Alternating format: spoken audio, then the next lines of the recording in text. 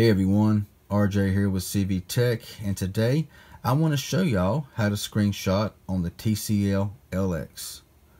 Let's get into it.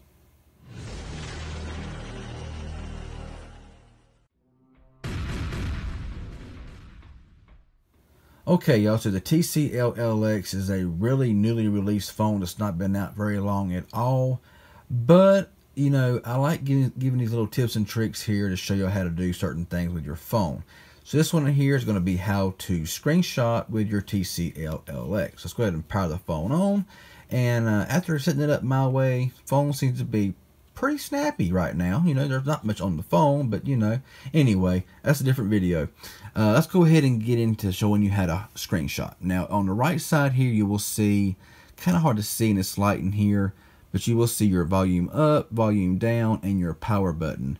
Very simple to do. Here. You'll put you will hover your finger over the volume down portion of the volume rocker and hover your finger over the power button. And at the exact same time press them in and bam quick screenshot. Uh, pull the drop down. Right there you'll see screenshot captured.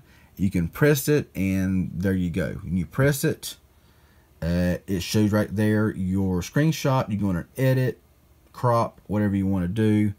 Very simple stuff to do there. So back at the home screen now. So the phone is kind of small. So if you want to just do it one-handed, you can kind of just find the volume down button there and the power button and same time press in and screenshot and you're good to go. Now that's now so far, best of my knowledge, this is the only way to screenshot on this device. There you go. That's just a quick video on how to screenshot on your TCL LX.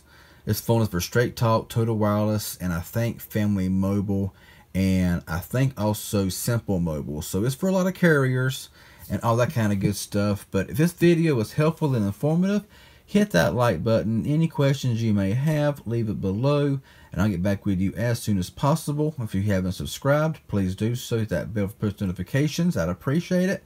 Y'all have a good one, and thanks for watching.